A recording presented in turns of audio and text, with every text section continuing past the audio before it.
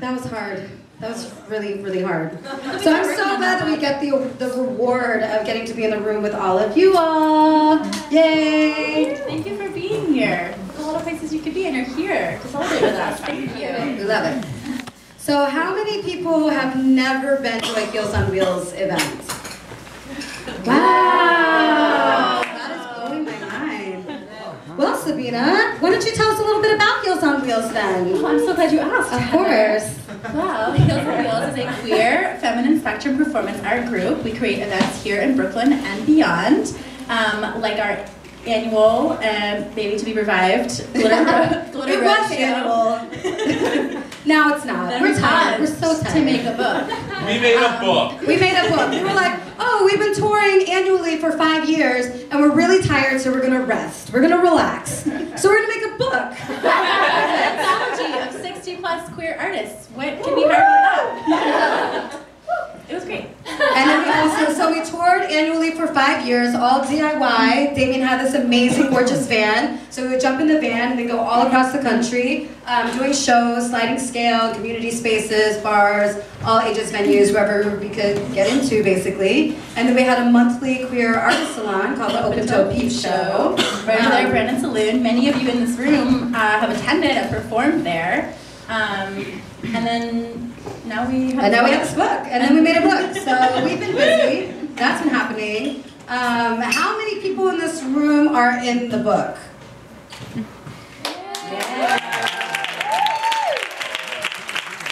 How many people in this room have ever performed at the Peep Show?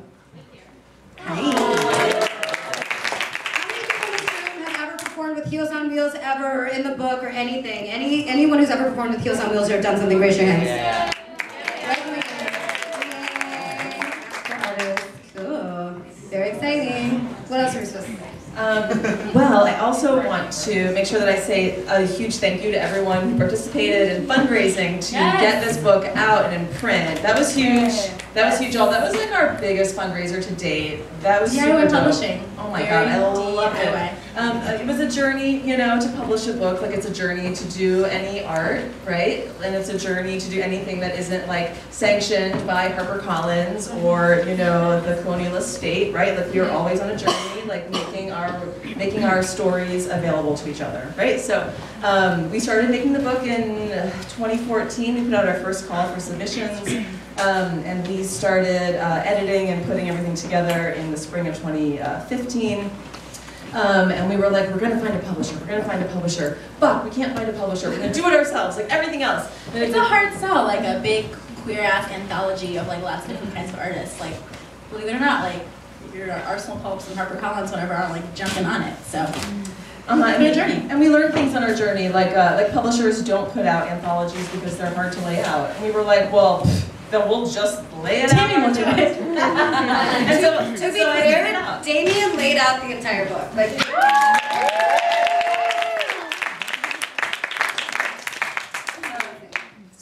Yeah, and so at the very last minute, um, uh, we were actually connected with this publisher called Publication Studio. Um, they're super, they're super dope. They're in, um, they're, they're these two dykes who are in Portland, Oregon, who are living like the happy Portland life, publishing like poetry, and doing, you know, whatever else they do, making kombucha, I don't know.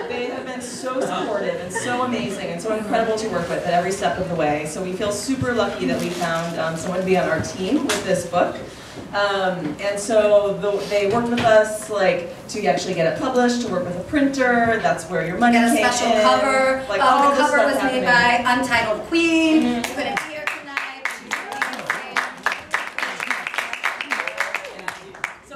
the story of our journey with, um, for those of you who did donate and pre-ordered books, um, our publisher who lived their happy Portland, Oregon lifestyle are just sending books out in waves. Um, so if you haven't gotten it yet, you will. They're doing it. They're, they're sending it media mail. We had to send 165 books out because that is how many amazing, awesome and they, folks like us, are like a tiny, teeny DIY shoestring. They're not even three dykes, they're two.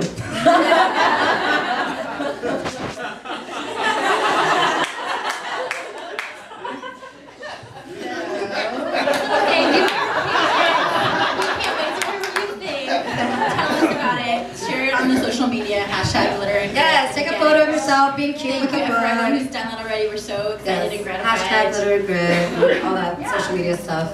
Um, so tonight, now we're on tonight, right? Yes. So tonight, it's gonna be a long show.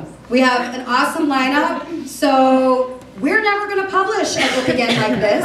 So this is our party, and we're gonna party as hard as we want to. So we have this incredible, stellar lineup of people, um, and you know we're trying to keep it short, but there are a lot of people. So if you gotta go, if you gotta take care of yourself, go do that. Please try to wait till in between artists. Please don't get up while someone is performing. Don't do it, because I will call you out. Um, and I mean, if it's an emergency, do your thing, take care of yourself. But just so you know, if you gotta leave, it, you know, do what you gotta do. But we're here to have this one night and to just have it full of love and magic and celebration. So that's gonna be happening. Um, and on that note, let's do get started, right? Start. your. So we're gonna start off with a little Damien Luxe action from the book. Thank you so much for being here. Um, all right, folks. So I'm going to be reading to you um, from the very, very, very first piece of writing in the text. Um, uh, uh, it's the intro. Um, it's. I laid out the whole book. I can tell you like literally what everything is. I'm like, it's actually in the uh, 1.1 section um, because we came from a hungry place. Uh, and in it, I, I start with a quote of my uh, co-conspirator. Um, I never sat around waiting for permission to make my art or live my life. Why would I start now? So inspired by Heather. So when this all started, all I wanted was to be weird, smart, queer, and not lonely. I wanted hope and a place to put my ambition. If we had just stayed home, watched internet TV, and waited for someone to discover us, we never would have done all the things we did. We never would have had all the good and bad experiences. We never would have blasted our hearts open, cried in each other's arms, made art, visited 34 states and three provinces, or partied as hard as we did. We never would have touched so many people, or fucked up and then challenged ourselves to do better.